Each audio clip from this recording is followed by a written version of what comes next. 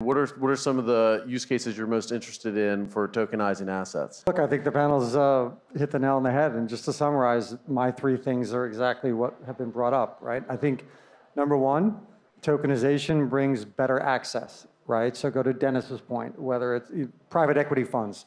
Usually the purview of very wealthy clients, right? If you have a fund that only accepts a million dollar check, well, with tokenization, you can break it down and allow your investors, subject to the right regulatory requirements, maybe $20,000 parcels, right?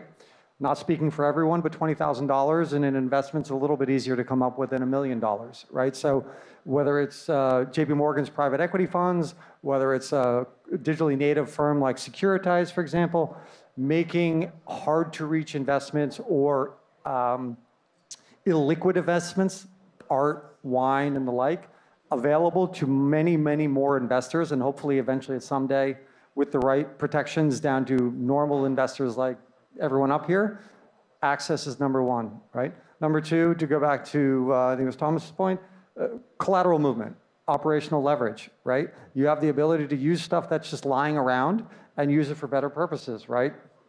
If you have treasuries posted somewhere and they're lying dormant in an account, maybe getting swept for incremental return, why can't I leverage that stuff on my balance sheet and say, I'm going to post these as collateral, keep my return unless they're taken away from me, but use that for something else, right, as collateral. And then the third thing I would say on Gerald's point, right, added return.